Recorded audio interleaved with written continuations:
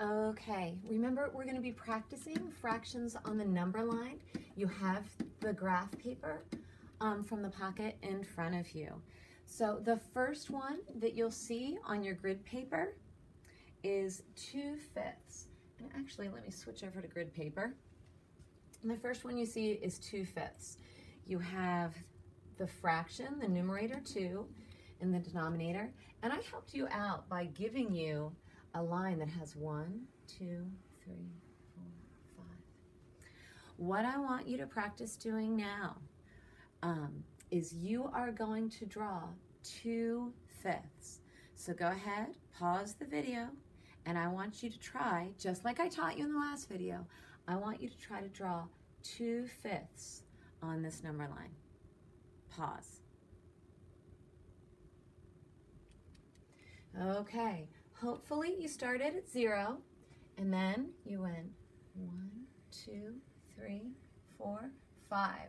We're breaking the number one into five oh, parts. So you went ahead and once you did your five for the denominator, you labeled that one. So we've got zero and one. We did our five jumps and now we just have to take as many jumps as we see in the numerator. One, two. That makes this spot right here two fifths. All right, check and see if yours is correct. All right, the next one, one fourth. I also started the line for you on your paper. I want you to pause the video and I want you to plot one fourth on this number line. Okay, let's see how you did. Got a zero, then you're gonna do four jumps. One, two, three, four. That gets you to the number one. So our denominator, we broke this into fourths, and now we just have to jump over one. Again, once we do that one jump, that spot we will label one fourth. How does your drawing compare to mine? All right, your third one that's where it's going to get a little bit trickier.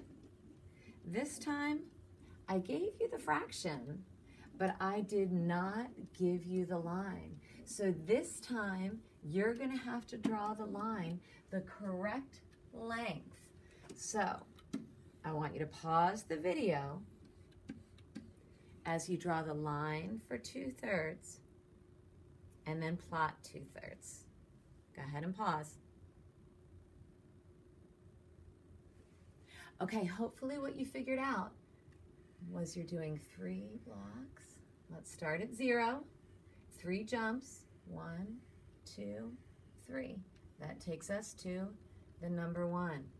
How many numerator hops? One, two, and we call this two thirds. Compare yours to mine and see how you did. And lastly, one half.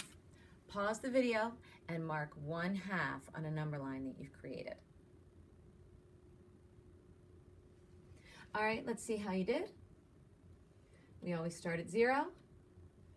One, two, gets you to one, hop over one, and now we are at one half. Now, this is what I want you to do on your own. For number five, you are going to make up a fraction and then you're gonna plot it on your number line. Go ahead, do that now, and then turn this paper in.